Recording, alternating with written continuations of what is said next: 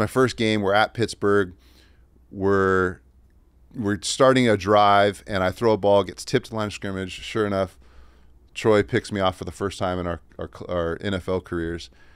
And I start backpedaling, and I'm looking for him, and I can't find him because he's not a six-five safety. He's like a five-eight safety. And I don't see him, and all of a sudden, like, I'm, I'm backing up. I'm damn near on the goal line, my own goal line. And I see through, like, all of a sudden, these jerseys spread out, and here comes Troy, and he's coming right at me, and he lowers his head and puts it right on my AC joint oh. on the oh. goal line and ran me over for a touchdown. And my, my shoulder has never been the same, and that was my first year playing in the National Football Damn. League.